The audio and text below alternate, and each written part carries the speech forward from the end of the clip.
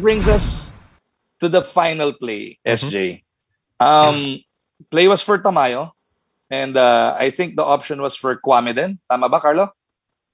Tanong natin kay SJ. Si, Uh, eh, si ma- SJ. ma- kayo, kayo yung nasa loob ng huddle, pero I heard Tamayo, I heard uh, Kwame. I did not hear SJ. Parang emergency pass na lang yung sa SJ. Yes po. Ah, yun nga, um, nauna yung, tama nga, yung play is for Carl. Tapos if ever wala kay Carl, si Ange.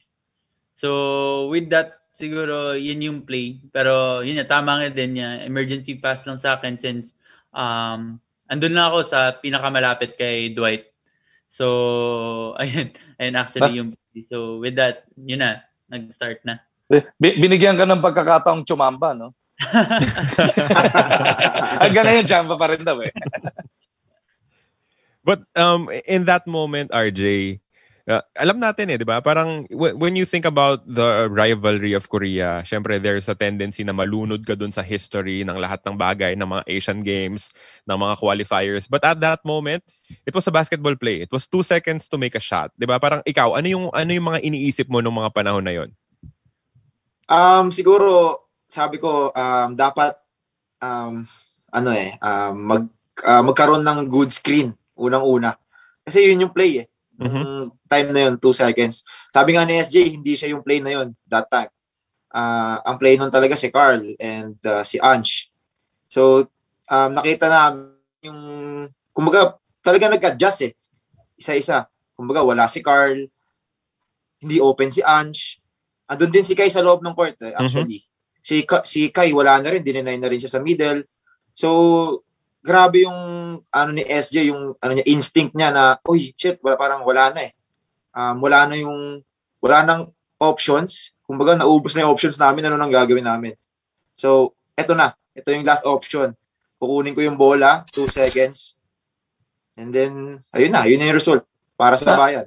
Ah, ano nga eh, no? Um, yun yung pinaka, I think, nakakalampag sa buong Pilipinas. Yung poise na pinakita nyo. As a team, down na ganun kalaki, first half nakahabol, and then dun sa dulo, 2.9 seconds to go. Kung inangat mo ng diretso, S, uh, SJ, sabi nga, baka sabit, baka makapagpa-foul, baka may Paul moment ka. Yung parang sa China dati, no time on the clock, titira ng free throw. Pero hindi, iniwas mo pa eh. At pinabanda mo eh. Talagang you really wanted to go for the win right there, right there, no, SJ? Yes po. Uh, for me po, it's either kasi if ever na kukunin ko yung foul na yun, there's a tendency na baka hindi bigay ng referee. Ma- Since ako nagbigay ng motion na nag-shot fake ako at saka ako sasabit. So, baka hindi tatawag. Pero, yun nga, ah, iniwas ko na lang. Tapos, I aim for the board. Tapos, ayun, naging shoot. Um, um, syem- syempre kayo nagse-celebrate and it was a thing of beauty the way you guys celebrated. Pero sigurado napanood nyo na yung tape after. Mas satisfying ba nung nakita nyo sa tape yung itsura ng mga Koreano pagkatapos? Ah, Sabi nga ni RJ, simula pa lang parang Gigil mayapang sila eh. sila, eh. Oo, parang tama, superior sila, gigil sila. eh. Pag nakita mo yung mukha nila, kay, hindi nyo na nakita yun na live dahil kayo-kayo nagse-celebrate. Nakita nyo na yung tape sigurado eh. Nung na-focus naman sila, how shell-shocked they were, how satisfying was that? for me po nung time na yun, nas, pagkatapos po yun, na, na drug test po ako eh. So, Oh, tagal niya, tagal niya wala nun. Ah, Hindi na kaya- nakabalik. Ako, andun din po yung Korean eh. So, pinanood namin ni Carl yung video, tapos parang kailangan namin magtago. Kasi nung time na nakita, nung pinakita na yung replay, yung mga Koreans, andun din sila. So, Katapat nyo. Hininaan yung, hininaan yung sound para hindi naman sila ma, di ba? Respeto, respeto. Respeto lang. So, ayun, nakita. Ang dali lang, ang bata nyo ba? Bawat, pero tawang-tawa nga eh.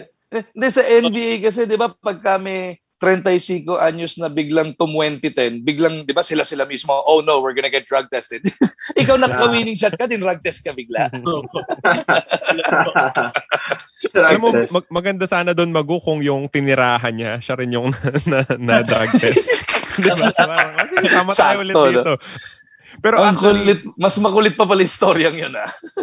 Actually it was it was a very interesting decision eh, 'di ba? Kasi yung yung tinirahan nitong si SJ was one of the seniors ng team. Veterano na 'yan eh. So kung magpakagat ka ng foul diyan, eh, eh, he's also smart. Hindi hindi yan Yes. basta-basta babangga, hindi yan basta-basta bibigay kasi nakalaban na yan ng Jo- sa Jones Cup nila, nila Kuya RDO, sa FIBA Asia Cup nila, nila Ping. So mga veterano na talaga yung mga nakalaban yan. Pero RJ gusto ko, eh, sorry, SJ, gusto ko malaman, at what point dun sa play na yon mo na na desisyonan na dun ka pupunta? Or was it really yun yun ba talaga yung path mo? The ka ba talaga side, eh, towards ba? yeah, magka-cut ka ba talaga towards that or it was something that you thought of right then and there? Um, dapat sa corner three points. Hindi dapat ako magka-curl doon. Pero, nakita ko si Dwight, yung mata niya, parang hindi na, parang naghahanap na ng pasahan. So, if ever, kay Kai, eh, naka-deny si Kai, hindi, niya- tapos sa loob, hindi niya na mapasa. So, naghahanap na siya. So, ayun, nag-decide ako nung pagkalabas ko, ko-curl ko na lang kaya since ah, naghahanap na si Dwight ng papasahan. So, ayun, pinasa niya sa akin sa corner, which is, yun nga, pag ganun pa curl nga ako. So, ayun, So tinignan mo lang yung mata ni Dwight. Dwight, opo. Kasi nung si Magu tinignan niya yung mata ni Dwight, nanlambot siya ng konti eh. Oo nga. Papasahan. Aminado tayo, secure tayo sa paglalaki, pagkalalaki, pero pagkaya mga Dwight, pagka si Christian San Hardinger, yung mga yan. Pag tinignan mo sa mata, parang nakaka-hypnotize eh. Di ba?